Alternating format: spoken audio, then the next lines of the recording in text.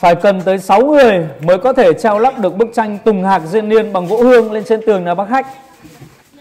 Bức tranh Tùng Hạc Diên Niên này, chúng tôi đã treo lắp ở ngay thạch thất gần với xưởng tranh gỗ Bùi Gia, cho một bác khách đã đặt hàng cách nay đã vài tháng.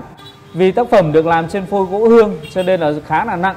Ở và trên khung hình đây thì ờ, các bạn đang nhìn thấy phải cần tới 6 người hỗ trợ nhau thì mới có thể treo lên trên tường được. Và bác khách đấy thì ờ, thực sự là rất là háo hức chờ đợi đã vài tháng qua, rồi đến hôm nay treo lắp thì bác đấy cũng chuẩn bị từ sáng. Cho nên là khi mà chúng tôi đi lên thì đã ra đến tận đầu làng để đón chúng tôi vào nhà.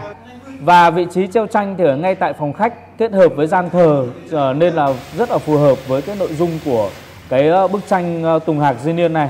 Bởi vì nó tượng trưng cho những cái điểm lành cũng như là cái sự tốt đẹp của cuộc sống. Và được cái là bác chủ cực kỳ nhiệt tình ở ngoài ờ, bác chủ thì còn có cả các ờ, anh em ở trong nhà, xong lại còn hàng xóm sang chơi. Ai cũng sẵn sàng là sắn tay vào hỗ trợ anh em ờ, treo lắp cho nên là rất là nhanh và chuẩn xác. Công việc cũng diễn ra rất là thuận lợi và hiệu quả, không có bất kỳ một cái sự sai sót nào xảy ra, không có gãy hỏng và không bị xước xác.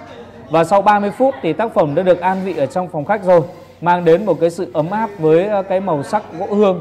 Có cái màu cánh rán rất là trầm ấm và từ nay thì bức tường của bác chủ đã có thêm một cái làn gió mới, một cái sinh khí mới mà chúng tôi cũng cầu chúc những cái điều tốt đẹp nhất sẽ đến với bác chủ trong một năm mới 2024 nhá.